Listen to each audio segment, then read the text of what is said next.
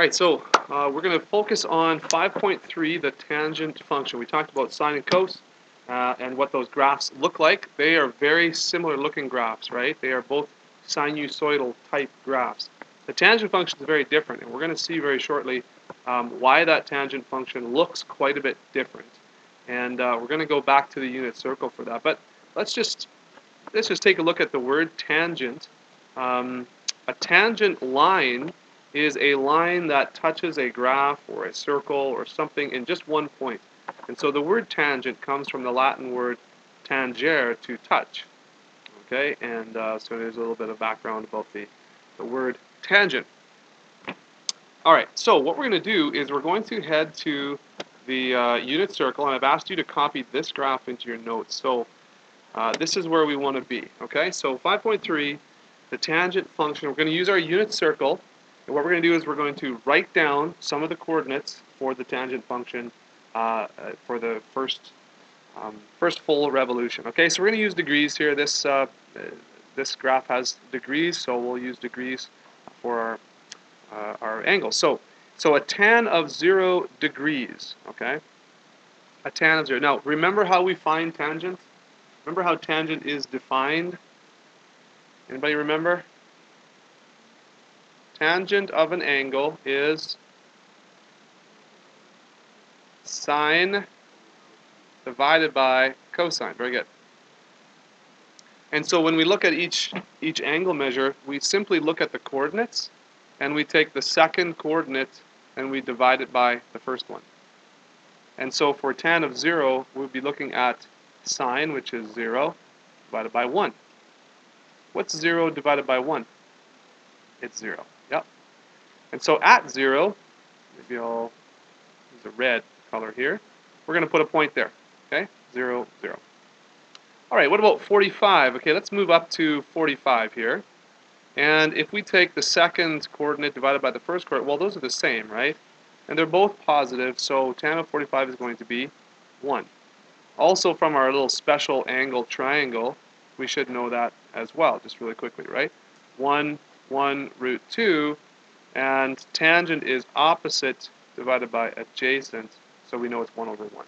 Okay, another way you can tell that. And so what we're going to do is we're going to mark at 45, which is this section right here, we're going to mark it at uh, 1. Okay. Now, tan of 90, what happens at tan of 90 over here? So we have 1 divided by 0. Okay. 1 divided by 0. So what is 1 divided by 0? Well, that's the problem, isn't it? Yeah. So we're talking about uh, basically infinity or undefined and so what we're going to do at 90 degrees is we're going to draw this asymptote. It's called an asymptote. Have you, are you familiar with that term? We've talked about that before, right? So an asymptote. So that means that at that x value of 90 degrees, the tangent function is undefined. Okay? All right, so we'll, we'll keep going here. We might have to piece a little bit more together as we move through, but let's keep going. So tan of 135 we look at tan of 135, well, we have the same values again, but we're, one of them is negative. So that's going to be root 2 over 2 divided by negative root 2 over 2, which should give us what? Negative 1. Awesome. So that's at 135, which would be here. So we'll go to negative 1. All right, everybody with me so far? All right, so we'll, we'll keep going. 0 divided by negative 1 is still 0. So at 180, We'll plot a point at 0, and we'll keep moving through 225. So here's 225. Again, same value, but they're also the same sign, so that value is positive 1. Okay? So you might be coming up, uh, you might be recognizing some sort of pattern here, and you probably will shortly after this next one. So 270, negative 1 divided by 0. All right, that's another undefined, that's another asymptote. So at 270, we're going to put an asymptote as well. Now the positive and the negative don't really mean anything. So you know what I mean, like negative 1 over 0, positive 1 over 0. At this point, don't really mean much. But you might be able to see that there's some sort of pattern evolving. So 315, again, that's going to be a negative 1 over here. So we'll plot that as well at 315, negative 1. And at 360, what's your guess? 0. 0 divided by 1. Okay? And of course, this is what it looks like. So, so right now, that does not that that doesn't help us a lot, really. If you have those many points, that doesn't help us a lot. I am going to do one thing though. Okay, I'm going to put negative 90 here, and I want you to do that as well if you wouldn't mind. Negative 90 degrees would be over here, right? And so let's take a look at what negative 90 is. So that would be here's 0, and we go back to here, negative 90. And what's this value here for tan? It is undefined again. Okay, so we're going to, um, or wait, ne no, sorry, yeah, negative 1 over 0. Okay, so we're going to have uh, an asymptote there as well. Okay.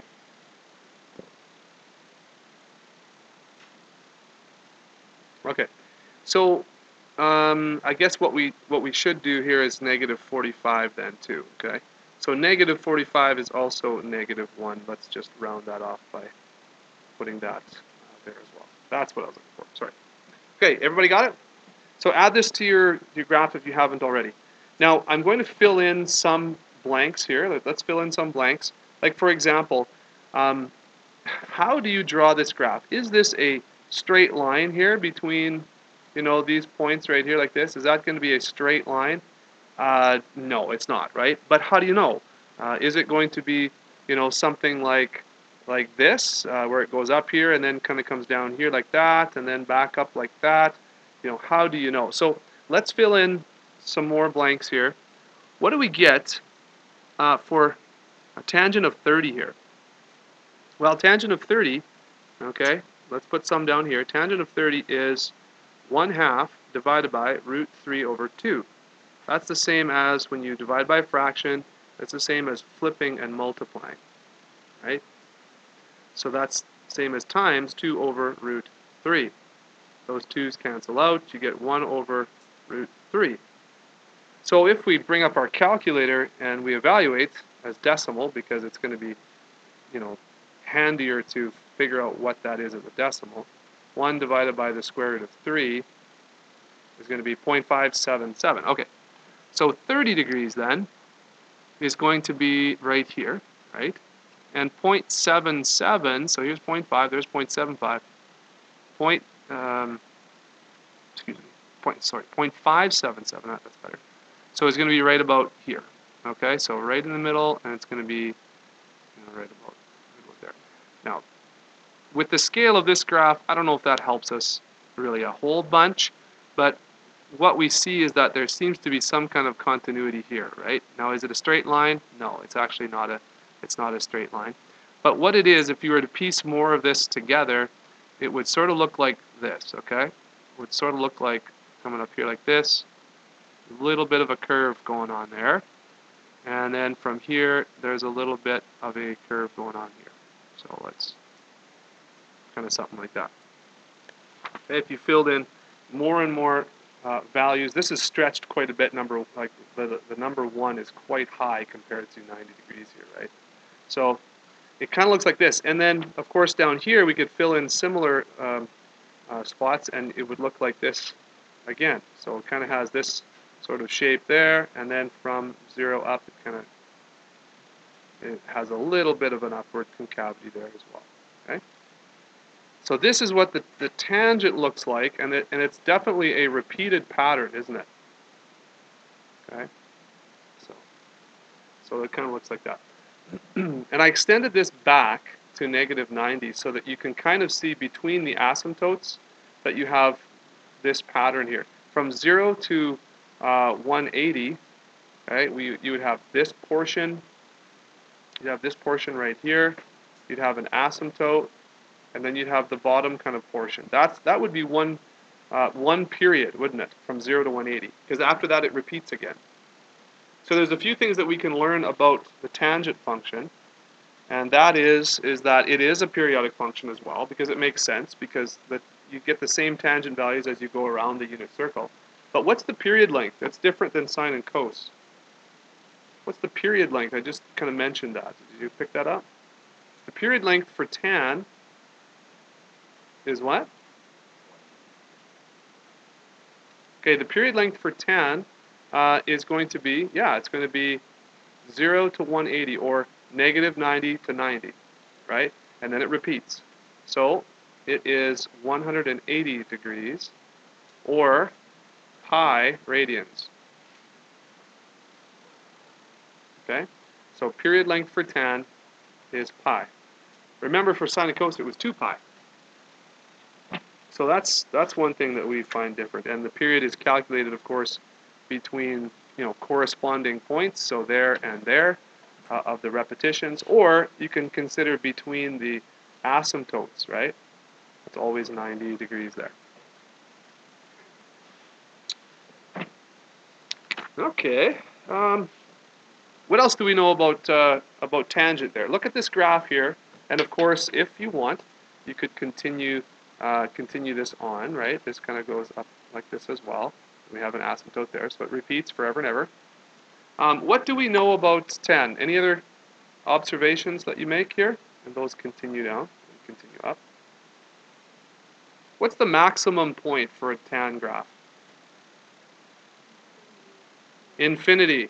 Okay. So really there is, there's, yeah, you could say infinity, but it's not really a, a, a discrete, no, it's not really a definite number. So what we'll say is that there is no maximum, and there's actually no minimum as well. So no max, maximum, oops, or minimum uh, uh, for a tan graph. Okay, so for y equals tan theta. So the period length is different. The fact that there's no minimum or maximum is different. Um, we should mention those vertical asymptotes, right? So there are vertical asymptotes.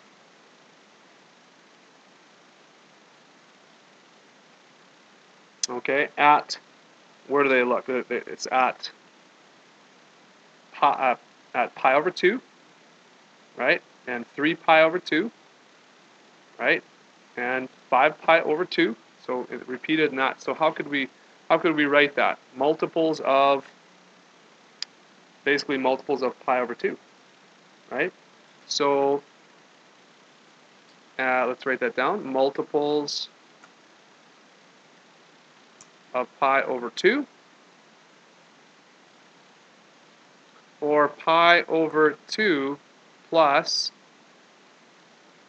uh, n times uh, well n times pi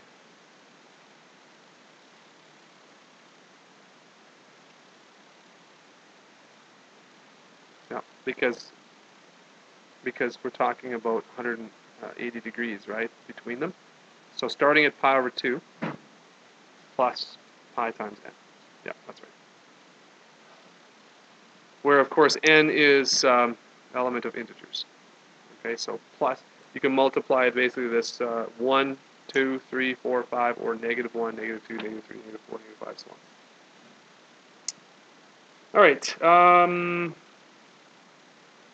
all right. Let's uh, for the rest of our list here. Let's pop over to the textbook. So this is in your textbook. Some of you might have found it already. But let's go to the key ideas here. Whoops. Had it, then I lost it. Here's your assignment. Okay, so key ideas right here. And we should have some of this stuff already. So periods pi, no max min values. Uh, oh, the range, okay? Let's talk about the range. Well, because there's no maximum or minimum values, the range is y is an element of all real numbers. Okay, so let's put that in our notes. The range, okay, y is an element of all real numbers. We better talk about the domain as well, right?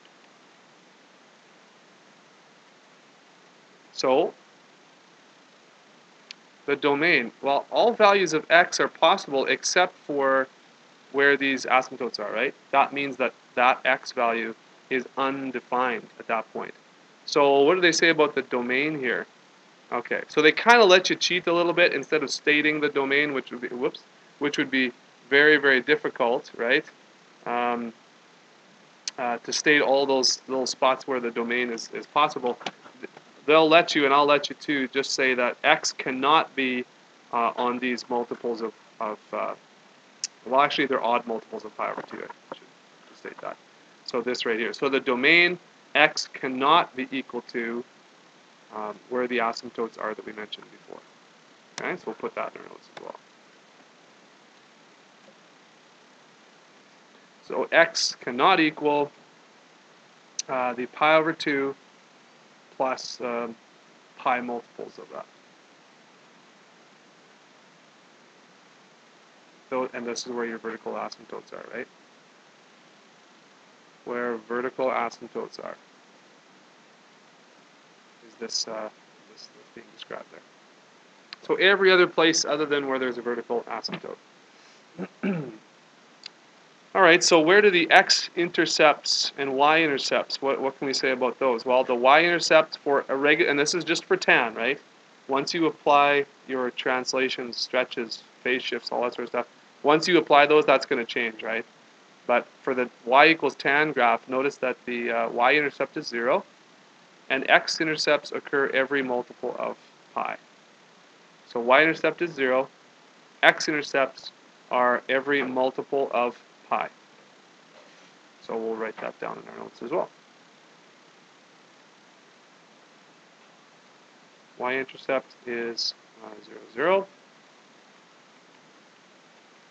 x-intercepts at um, 0 plus any multiple of pi.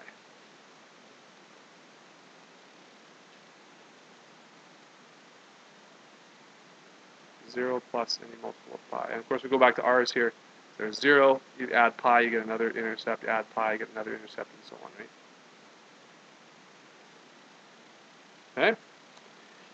Now, I'm going to I'm gonna pause and let you guys get some graphing calculators out because I'd like to apply some transformations here to um, uh, to this tan so you can kind of see how that goes. So go ahead and take a moment here and grab a graphic calculator.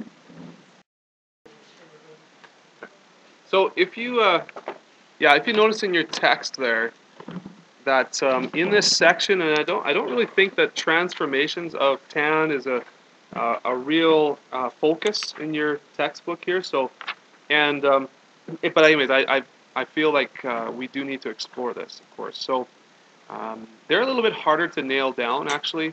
The uh, you know the transformations and what happens, but I think it's going to be important for us to take a peek. So. Let's put in uh, tan of x, of course. Let's do that first. And of course, I need to delete all the rest of this stuff. So we do, let's say, do tan of x, and I'm going to adjust my zoom. The asymptotes look a little bit funny on your graphing calculator, right? Um, they, they will. They'll kind of look like this vertical line there. That's not part of the graph, but that's kind of the, the calculator's, it's trying to say that, hey, there's a um, there's an asymptote there. All right? So if we take a look at, why don't we just kind of zoom in a little bit here, or let's, well, we could try zooming in. All right, you do have that zoom in function if you're ever stuck. You can just zoom in and then hit enter, and it kind of zooms in. You, you can't really control how much it zooms in, but this is perfect. This is really what I want to see. So, all right, so what we know is that um, a quarter of the way through the, uh, the period, and so that would, are we in, let's see, are we in radians or degrees? Okay, I'm in radians here. All right, let's go to degrees. Oops, you guys go over to degrees there. Let's put degrees in. And now that's going to change our graph quite a bit. so we'll fix that. Okay, so because we've changed to degrees here, we have to change our x-axis here. Um, we want to see negative 90 for sure because it's got the asymptote and positive 90, so I just adjusted my windows there. And this is what the graph then should look like. So, um, what did we say back here? We said that tan of 45 it should be 1, right? So 45 degrees up there should be at exactly 1. Let's just confirm that, of course, with our calculator. So we'll do second function trace, which gets us the calculate menu, and we're going to go number 1, or just enter for value. And so let's put in 45, and just double check to make sure that everything we've done is correct so far. So at 45 degrees, we do in fact have a y value of 1. You want to see that? Okay. All right, so what do you think will happen? Let's go back to this function here. What do you think will happen if I have an a value of 2? So uh, I'm going to put 2 tan x in there. Before you graph it, what do you think is going to happen? That should be a what? A is what? Vertical stretch, okay? So all of the y values that would normally be on a tan of x graph should be doubled, right, for the 2 tan. So a vertical stretch. So let's see what happens. There's our original tan, and look at this, okay? It looks like this graph has been stretched vertically. So let's just check that. Second function trace to the calculate menu. Let's do enter. And I'm going to put 45 in again. And of course, at 45 degrees, I have y equals 1. Let's check the other graph. Hit the cursor up, and it's going to pop over to this one. And of course, look at that, y equals 2. So when you uh, vertically stretch a tan, kind of makes sense, I guess, you're going to kind of stretch it up so it looks kind of more like this, I guess. You know, it's going to be almost flatter, right? And so even let's just uh, uh, let me just display this down here for you. Let's let's just take a peek here. So, okay, so let's say we have a regular tan graph that kind of looks like this, and it and it kind of, you know, if the scale is right, there's quite a uh, there's quite a curve there, and so if we multiply by two, then this negative one, let's say, is going to go to negative two. This positive one is going to go to positive two, and so we end up having this stretch like this, right? So if we had y equals 5, well, the 1 here that became a 2 is now the 1's going to become a 5. So it's going to be quite the stretch. This is going to be almost almost a straight looking line, right? It's going to kind of go like this. What do you think would happen if I had an a value of, you know, um, 0.5? What should happen then? Well, maybe we'll put this in red here. What should happen then? I'm going to squish it down, right? So this 1 will go to 1 half. This 1 will go to 1 half. We still have an asymptote here, okay? An asymptote here. But what's going to happen is it's going to the graph is going to be closer to the asymptote here, and then it's going to come and go through this point, and then through still through 0, so it's going to flatten out a bit. Okay? It looks something like that. That makes sense? Any questions there? And of course, you can confirm all this on your calculator. That'd be great. Let's let's maybe do that one more time. So 0.5 tan of x. 0.5 tan of x, and here it comes. See that? All right. What do you suppose will happen if we adjust the b value? So what if I did y equals tan uh, of 2x? What's going to happen there, do you think? What should happen to the period length if I have a b value of 2. Because the period length for tan is pi, remember? So what do you, what's your guess?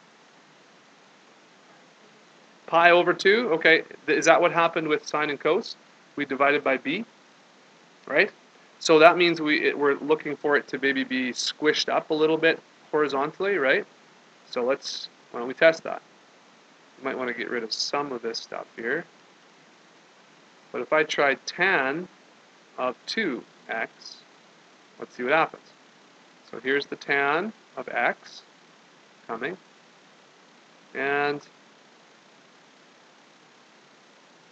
look at that. So the period has come in like this.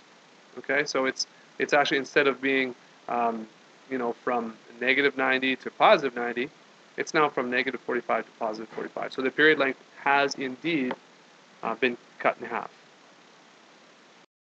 Alright, so here we are in handy dandy Desmos here, and uh, I've got the graph uh, lit up here. I've got actually two graphs lit up, and they're both the same. So what I'm going to do is I'm going to alter the b value here, and you're going to be able to see what happens to uh, the period length.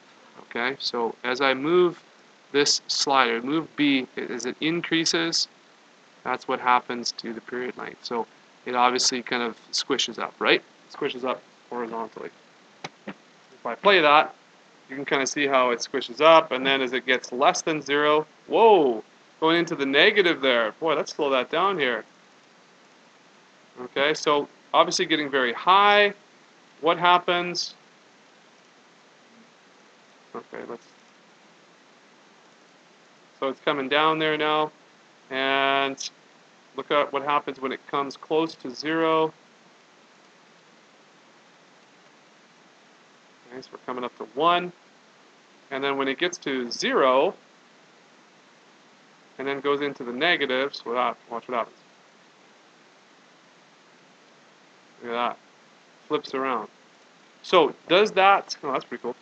Does that, does that make sense? Is that consistent with what we know of transformations in general? Like y of f, f of x?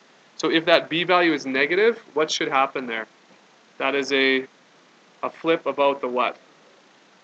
About the x-axis or about the y-axis? About the y-axis. So does this look like it's a reflection about the y-axis there? Yeah, if this was exactly negative 1, then that would be an exact uh, reflection about this y-axis. Okay. Okay, so let's do uh, let's do an A here, and I'll make that a positive one. Okay, so what happens if the A moves? Okay, so here we go. Let's play this one, and there's our A going up to 10, back down. Right. So at about 45 degrees here, that's at 1. And then as it comes down, boom, and then it flips over. So this, even though it's tough to tell, this is a reflection about the x-axis, right? At negative 1. Now, so a of negative 1 and, and b of negative 1 looks pretty much the same, right? That's kind of cool. They change differently, of course, but when you have A negative 1 and B of negative 1, you have to actually have the same graph. Okay, any questions so far?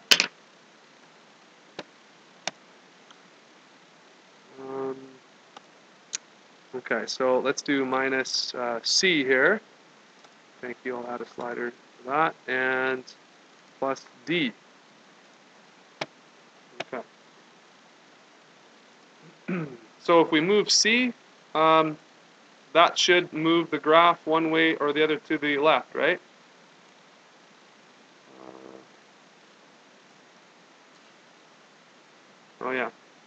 See it's moving over there? It's just that the x scale is so large. See it's moving left and right? And then the A, I'm sorry, the D over here should move it up down. See that? Now it looks like it's kind of going on the angle there, but it's actually just moving straight up and straight down. Okay? And if we play all these, we'll get quite the um, synchronized action going there. Okay. That. Let's speed this one up. Oh. Look at that. Like, we could put this to music. Maybe not your music, but anyways. Yeah. nice try. Okay. Any questions then about tan and how the transformations of tan work? Okay, so these this data about tan here is pretty important. Okay, knowing about the intercepts, domain and range, um, some characteristics here of tan, and uh, yeah, if we head back to your to your textbook here, then that's uh, some good key ideas there for you to know. Okay, so there's a bit of summary, and I'll give you your assignment here soon.